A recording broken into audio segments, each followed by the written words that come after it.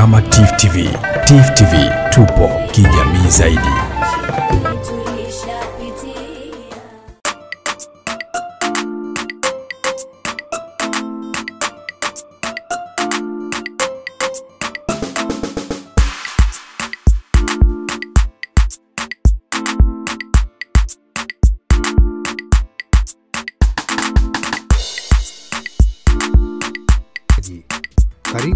Katika makala maalum ya makamu wa rais wa Jamhuri ya Muungano wa Tanzania, Mheshimiwa Dr. Philip Mpango.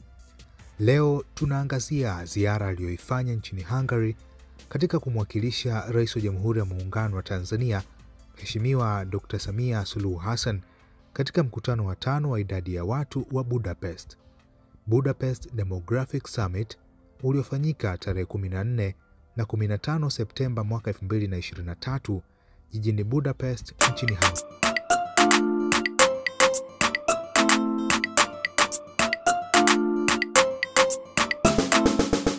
ya tarehe 14 Septemba mwaka 2023 ambayo ndiyo ilikuwa siku ya mkutano huo, makamu wa rais Dr. Mpango akawasili katika ukumbi wa mikutano wa Museum of Fine Arts wa Budapest na kupokelewa na rais wa Hungary Mheshimiwa Katalin Novak.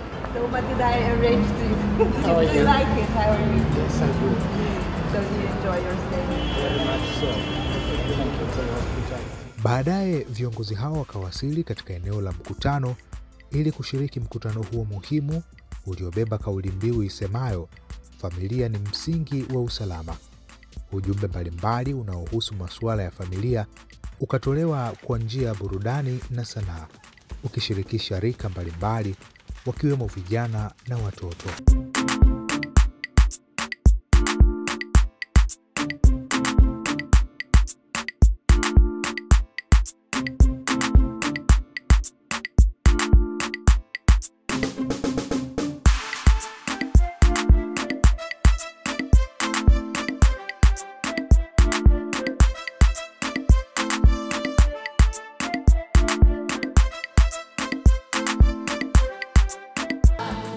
For the first time, we have a representative, a high-ranking representative of uh, a African country, of an African country which is boosting concern when it's about uh, demography. So we have here the vice president of Tanzania, of a country where they have also their first woman president, and I am very happy that Samia sent uh, his deputy to Budapest so that he can share with us his experience and I hope that we can learn something and at the end of the day maybe the equation will be solved. So thank you so much. Philip Isdorm Pango, the floor is yours.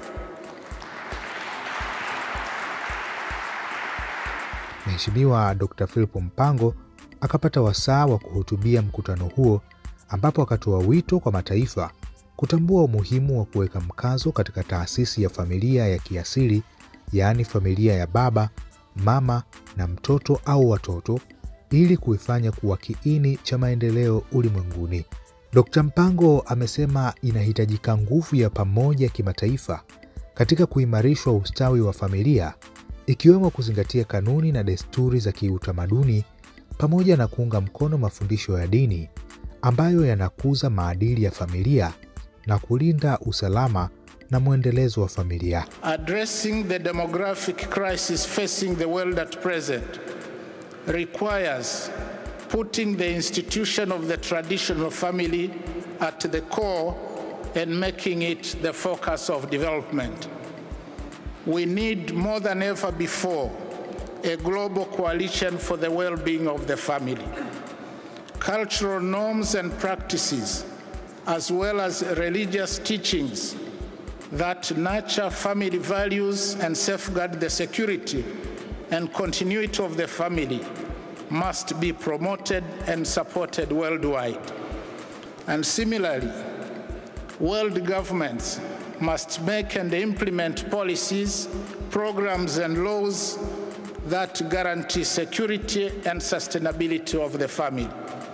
We also call upon international collaboration and solidarity in support of Africa, contain the spillover of its demographic challenges. Pia Makamu wa rais ametoa wito kwa serikali ulimwenguni kutengeneza na kutekeleza sera, programu na sheria zitakazohakikisha usalama na uendelevu wa familia.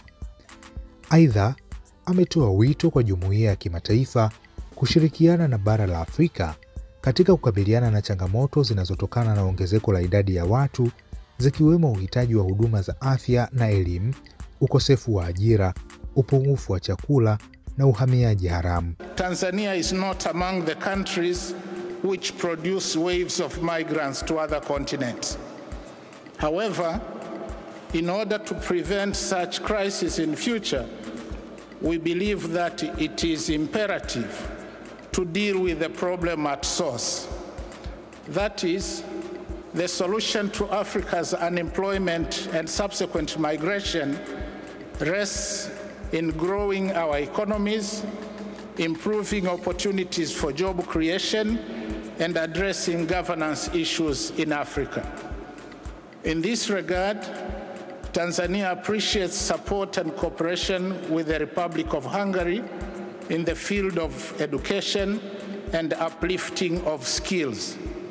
And my country is committed to deepen relations with Hungary in skills development for our youth, as well as investment, especially in agriculture and agribusiness, value addition, manufacturing, tourism, and digital technologies which have high job creation potentials.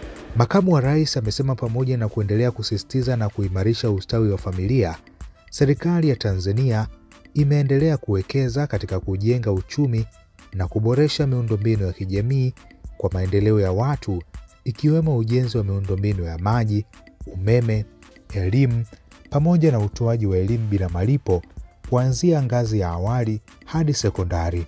Ameongeza kwamba serikali imeongeza jitihada katika kuwavutia vijana ambao ni idadi kubwa iliyopo nchini kushiriki katika kilimo biashara na kuanzisha programu maalum ya Jenga Kesho Iliyo Bora BBT. Aside from the traditional cultural practices that keep families together and secure, the Tanzanian government has been taking deliberate steps in that direction. And they include establishment of the Tanzania Social Action Fund as a safety net to assist the most vulnerable households through the provision of seed money and grants as well as employment opportunities. Furthermore, the government has invested significantly in building economic and social infrastructure, particularly water supply, classrooms, rural electrification, and rural roads. And other efforts have included implementation of a program we call Building a Better Tomorrow, which targets at attracting young people in agribusiness.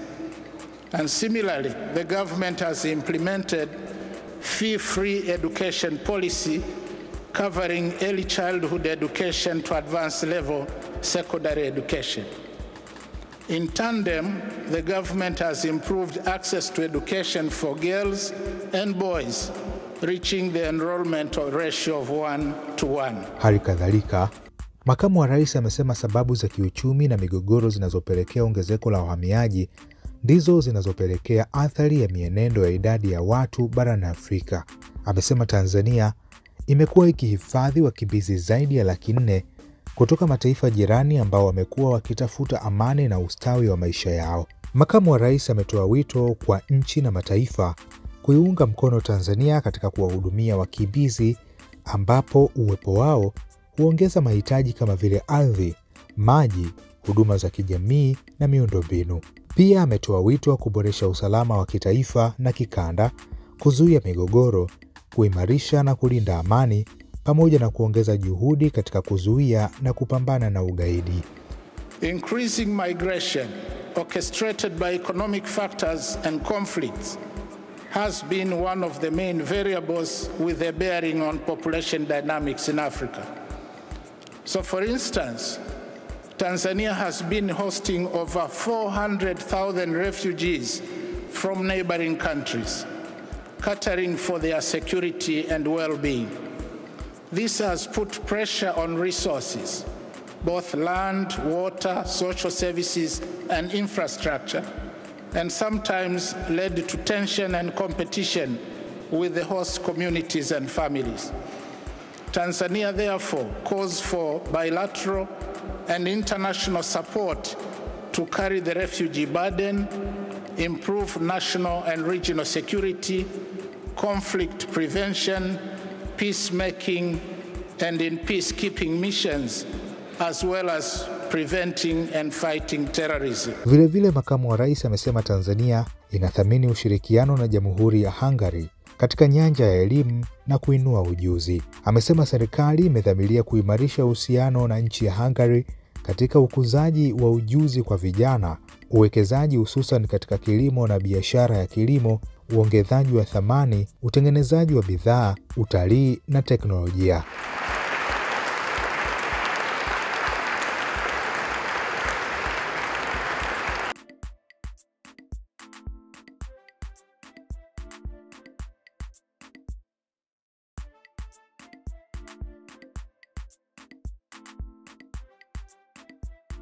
Siku mbili ulihudhuriwa na viongozi mbalimbali wakiwemo wakuu wa nchi na serikali kutoka mataifa mbalimbali, watunga sera, viongozi wa taasisi na mashirika ya kimataifa, viongozi wa dini na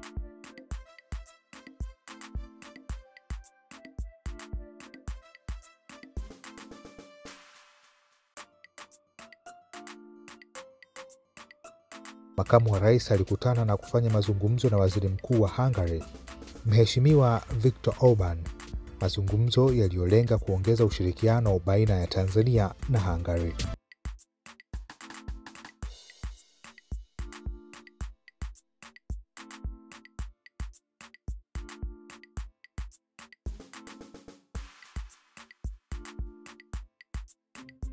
Tarehe 15 Septemba akiwa nchini Hungary, makamu wa rais akafanya mazungumzo na jumuiya ya Watanzania wanaoishi na wale wanaopata elimu ya ngazi mbalimbali nchini Hungary, mazungumzo yaliyofanyika jijini Budapest. Mwenyekiti wa jumuiya ya wanafunzi wa Tanzania wanaopata elimu nchini Hungary, Michael Matonya, pamoja na mwenyekiti wa jumuiya ya Watanzania wanaoishi nchini humo, Mhagama, wakatoa risala kwa makamu wa rais wakigusia masuala mbalimbali ikiwemo changamoto na fursa. Mheshimiwa Makamu wa Rais, Watanzania waishio Hungary diaspora ni wachache sana hadi leo tunakaribia kama 26. Mwaka 2012 tuliamua kuanzisha umoja wa Watanzania wote wakiwemo na wanafunzi wa Tanzania. Kwa hiyo umoja wetu upo katika makundi mawili, diaspora na wanafunzi ila tumeshirikiana pamoja na hata katika kazi za uongozi wa Watanzania wote tuishio Hungary. Sisi Watanzania tumeishi kwa kushirikiana katika shida na raha. Pia tunashukuru sana ubalozi wetu Berlin ulioko Ujerumani, wamekuwa pamoja na sisi kwa misaada mbalimbali. Tunaomba serikali ya Tanzania iwekeze zaidi katika kuchukua teknolojia na maarifa kutoka Hungary.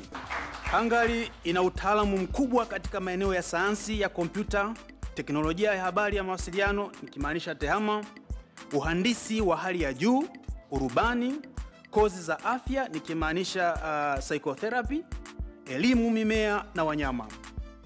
Kwa kushirikiana na Hungary katika kuhamisha maarifa haya, Tanzania inaweza kusonga mbele katika kujenga uchumi wa digitali na kukuza ubunifu, uvumbuzi utafi, na utafiti wa ndani. Ombi letu la pili eh, linahusu kuongeza idadi ya wanafunzi. Tunapendekeza kuongeza idadi ya wanafunzi wa Kitanzania wanaosoma nchini Hungary haswa katika fani za kimkakati za sayansi na teknolojia. Kwa mfano, tumeshuhudia nchi jirani zikiongeza wanafunzi kutoka wanafunzi 60 kwa mwaka yani 2018 na kufikia takribani wanafunzi 200 hivi sasa. Nchi zingine zinaleta wanafunzi mpaka 400 kwa mwaka. Hii itasaidia kujenga rasilimali watu wenye ujuzi zaidi na kuwezesha maendeleo chanya kwa vijana na taifa kwa ujumla. Naibu waziri wa mambo ya nje na ushirikiano wa Afrika Mashariki Barozi Mparuku Mparuku akiwa katika mkutano huo amesema pamoja na kazi ya kukuza na kudumisha mahusiano ya kirafiki na kidiplomasia kati ya Tanzania na mataifa mengine, pia serikali imeendelea kutekeleza kikamilifu kazi ya uratibu wa masuala ya diaspora Kwa muda mrefu tulikuwa tuna changamoto ya upatikanaji wa takwimu sahihi za diaspora au idadi ya diaspora wetu kote ulimwenguni. Lakini mwezi Mei mwaka huu uh, wizara yetu ilizindua rasmi mfumo wa kuwasajili diaspora kidijitali. Hii inaitwa Diaspora Digital Hub, na mfumo huu uliotengenezwa na wataalamu wa ZAWA utasaidia katika kurahisisha usajili wa diaspora ambao wana asili ya Tanzania pamoja na wanafunzi wa Tanzania ambapo hadi sasa wanaendelea kujisajili tayari, na napenda kutumia fursa hii kuwahamasisha diaspora wote wajisajili kwa wingi, na ni matumaini yetu kwamba takwimu zitakazopatikana katika mfumo huu zitawezesha serikali kupanga na kuandaa kwa usahihi kabisa ni mahitaji yanayohitajika ili kuwapatia diaspora huduma wanazohitaji. Ikiwemo huduma za kibenki, hati za kusafiria, vitambulisho vya taifa na vitambulisho rasmi vya utambuzi wa diaspora wakati wa utekelezaji wa hadhi maalum.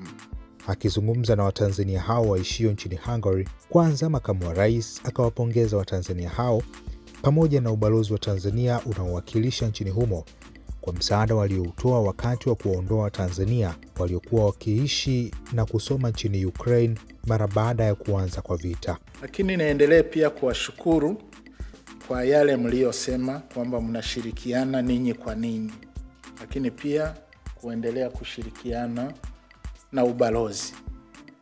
Hili ni jambo ni jambo kubwa sana. Kitendo mlichofanya kuwasaidia Watanzania wenzetu waliokuwa na kimbia ile dhahama ya vita kule ni kitendo cha kizalendo, ni kitendo cha uungwana sana. Ni-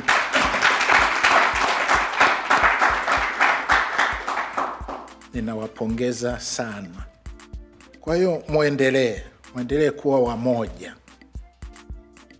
mwendelee kushikamana, mwendelee kushirikiana katika magumu, lakini pia katika yale ambayo tunafurahia pamoja. Makamu wa rais amewasihi Watanzania waishio nchini Hungary na nchi zingine duniani kuhakikisha wanaishi kwa kufuata sheria katika nchi hizo na kujiepusha na vitendo vya kihalifu vinavyoharibu taswira ya Tanzania. Si Watanzania ni watu wastaarabu sana, watu rahimu, tunapenda watu. Kwa mzingatie sheria za hapa tulipo na taratibu zao.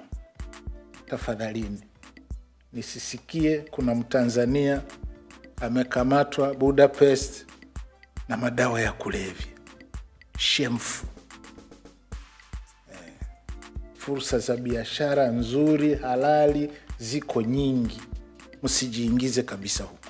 Aidha, amewaasa kuendelea kuitangaza vyema Tanzania, kuvutia wawekezaji pamoja na kuchangamkia fursa za uwekezaji katika sekta mbalimbali nchini. Pia amewasihi kuendelea kusaidia kwa karibu ndugu na jamaa wenye uhitaji katika familia zao nchini Tanzania kwa kutumia mifumo rasmi ya utumaji fedha. Nimekwisha sema juu ya kuchangia maendeleo ya nyumbani na matarajio yangu na matarajio ya serikali, matarajio ya rais wetu kuhusu Watanzania walioko nje. Kwa hiyo pale ambapo pana fursa za kuwekeza nyumbani, kwenye biashara, kwenye real estate, wale ambao walao Mwenyezi Mungu amewakirimu kidogo, basi msisahau kuwekeza na nyumbani lakini ninachowaomba tu mtumie mifumo rasmi ya kutuma fedha, sababu ziko zipo kesi ambazo fedha za Watanzania wenzetu wana diaspora zimeingia kwenye mikono isiyofaa. Hali kadhalika, makamu wa rais amesema kutokana na lugha ya Kiswahili kuanza kutumika katika jumuiya mbalimbali kama lugha rasmi, diaspora wanapaswa kuendeleza lugha hiyo kwa kuitangaza na kuanzisha vituo vya kujifunzia lugha ya Kiswahili katika maeneo waliopo.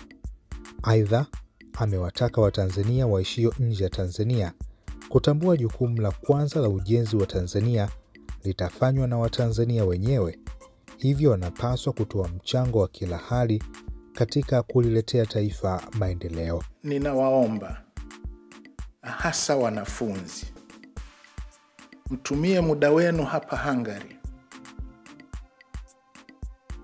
msome kwa bidii, chumeni maarifa.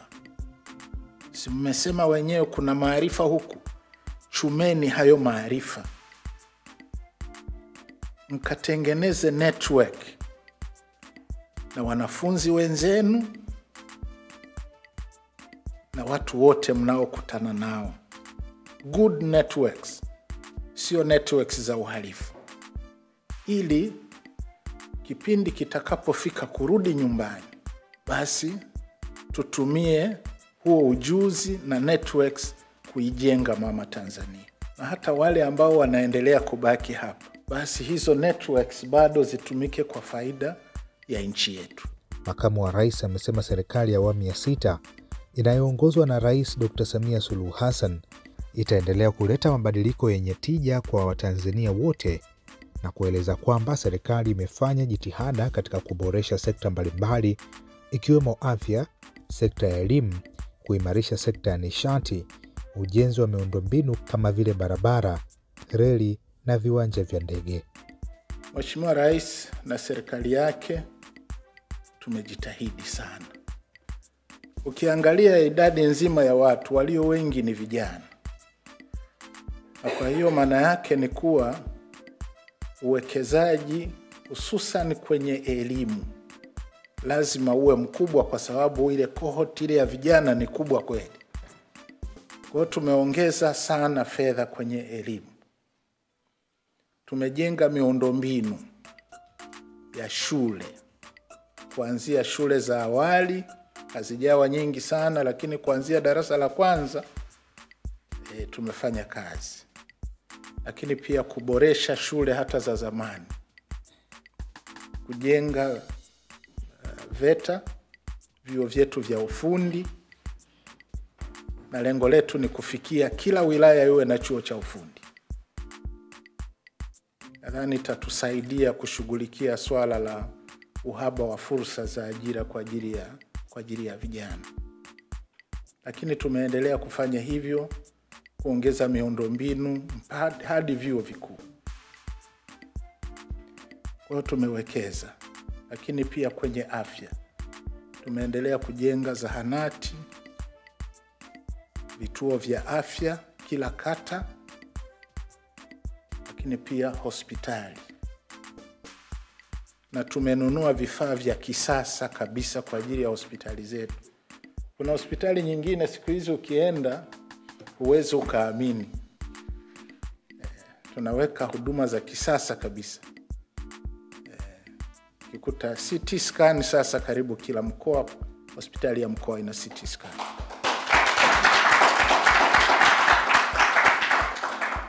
Lakini tunafanya jitihada kila hospitali ya rufaa iwe na MRI, lakini tunahangaika sana pia kusomesha madaktari na wataalamu bobezi katika fani ya afya na fani nyingine. Kwa hiyo huko nako tunawekeza sana, kwa sababu tunachoamini ni kuwa rasilimali muhimu sana, pengine kuliko zote, ni human capital. Sisi tuliohangaika sana kusoma juu ya maendeleo, ziko nchi nyingi tu hazina madini, hazina ardhi ya kilimo, hazina hata bahari, lakini waliwekeza kwenye vichwa vya wananchi wao. Kwa hiyo ndicho tunachojaribu kufanya.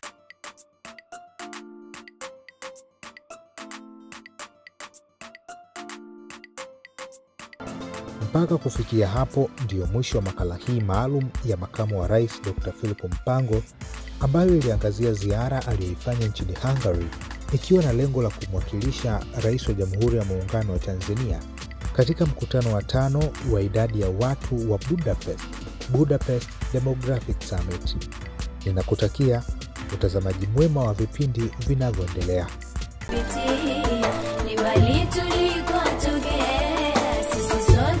Tukiwa kama TIFF TV, TIFF TV tupo kijamii zaidi.